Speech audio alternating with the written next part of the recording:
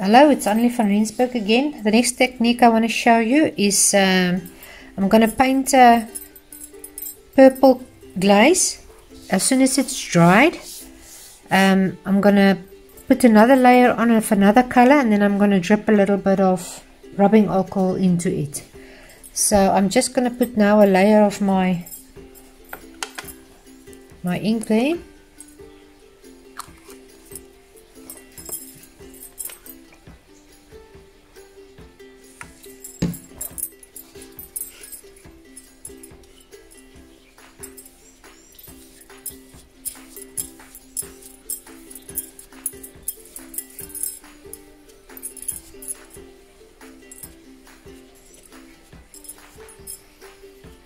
like this. Then I'm gonna leave it to dry. Must be dry dry dry dry. And then I'm gonna come back. I'm gonna put another layer with a rubbing alcohol. Okay this one is dry now. I'm gonna as I said the, earlier I'm gonna put um, two colors of ink on here and then I'm gonna put the first layer let it dry then I'm going to put a second layer and when it's still wet I'm going to put in the rubbing alcohol. So uh, I chose a little bit of white now. Maybe we can see it better. So I'm just going to get a little bit of white out. A little bit of water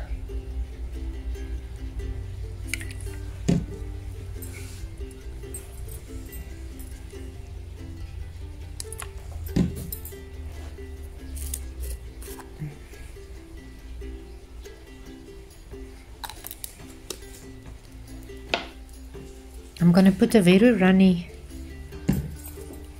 wash over the pink or the purple. And then while it's wet I'm to drop in the rubbing alcohol.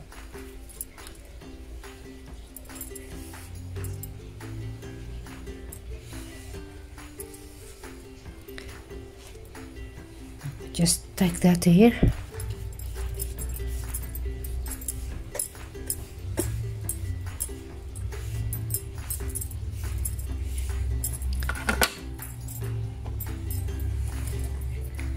Now I'm going to take rubbing alcohol, it's I think it's 91%. I'm just to drop that in. And I'm to let it uh, get to work. And um, when it's dry, I'll come and show you how it looks. I want to do the bandage gauze one again.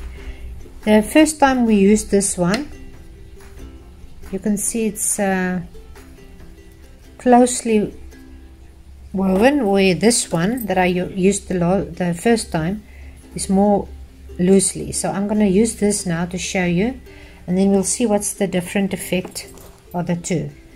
So I'm just going to cut a piece off here.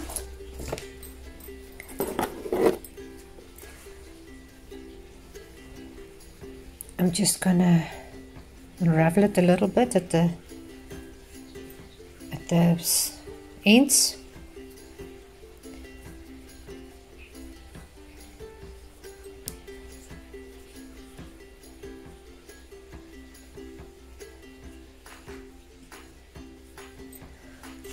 like this I'm going to put a little bit of my ink.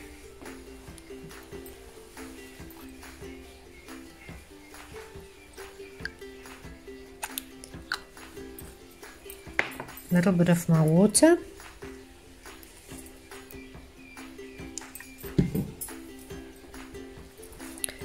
I'm to take my brush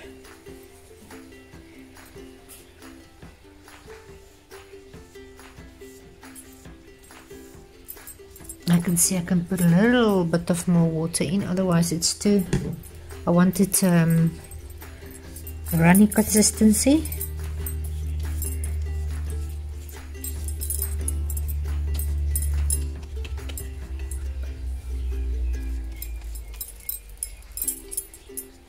I put a little bit more there where I'm going to put the gauze.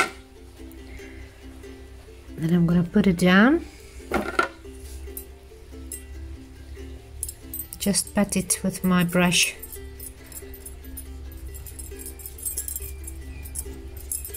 That it can soak up all the inks. So I'm gonna let this dry. As soon as it's dry I'll show you how it looks like. If you would like me to show you other techniques as well are you welcome to leave a comment in the comment section and I'll I'll do it for you. So now I'm going to use rice ordinary rice um, I'm first going to put um, a runny layer of my acrylic inks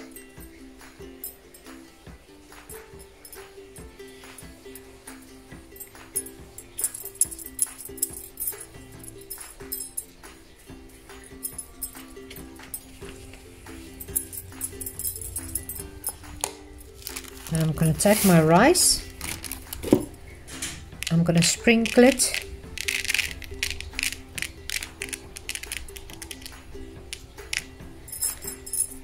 I'm to leave it to dry. Okay, this one dried as well. Um, it's the two colors with the alcohol ink. I just put the purple in, uh, um, on the first go, let it dry thoroughly. Put my white on my white ink and I drip the alcohol inks in and you can see um, it gives you a lovely texture okay this one also dried about for three hours now. Um, it's hot here in South Africa so it dries quickly.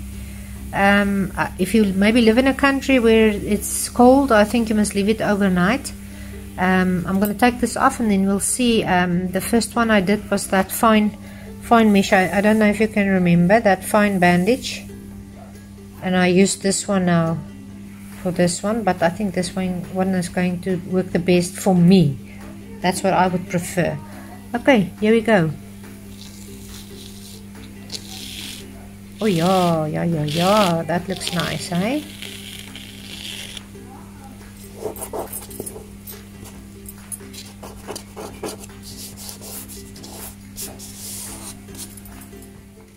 Okay, I let this one dry a little longer. It's the rice on the watered down um, ink. Um, we'll see now when I reveal it how it looks. I hope it's going to look nice. Usually it, this is a nice technique to do. Um, I'm going to take off the rice now and then we'll see.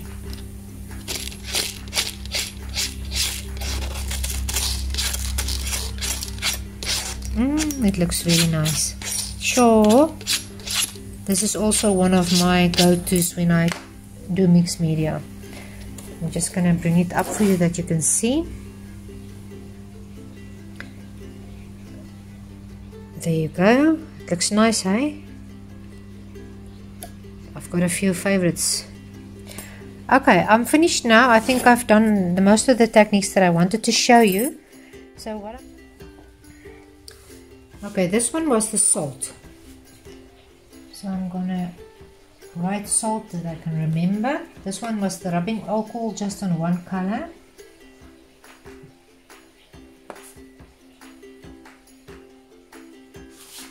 This one was the wax paper.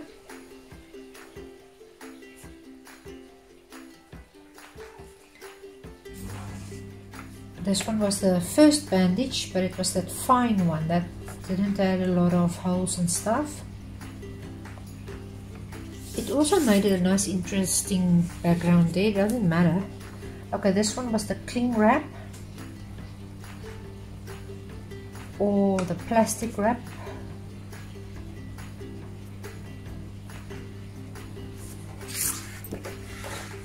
This one was the rice.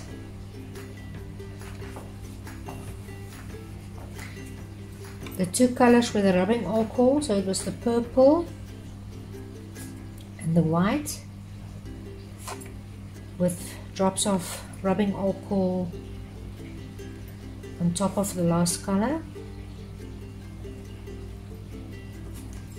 This one was the the, the bandage, the other the, the second one that's got a lot of loose weave and holes.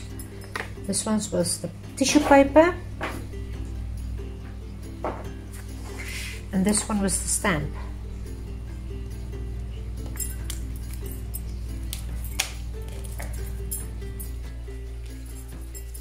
So what you're going to do now, you're going to get yourself a ruler,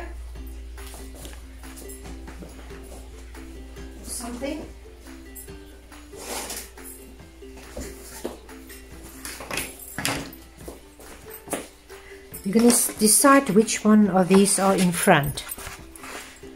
It doesn't really matter. You can maybe...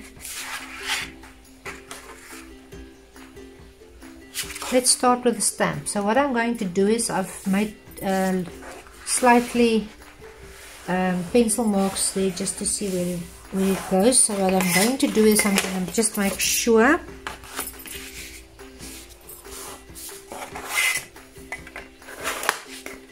flatten that for myself. Then I'm going to go to the other side. Just make sure you are on the same size.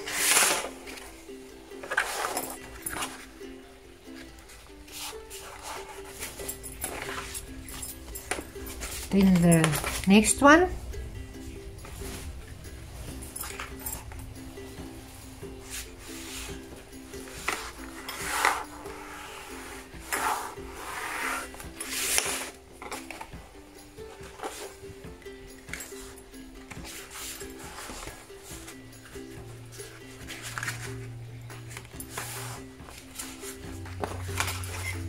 Last fold. Remember, you can actually make this book as big as you want. Um, as long as you want. Depends on your size of paper as well.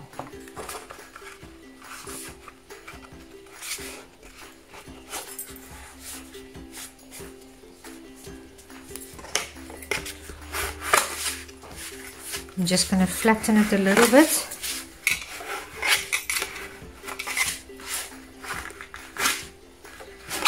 And there you go.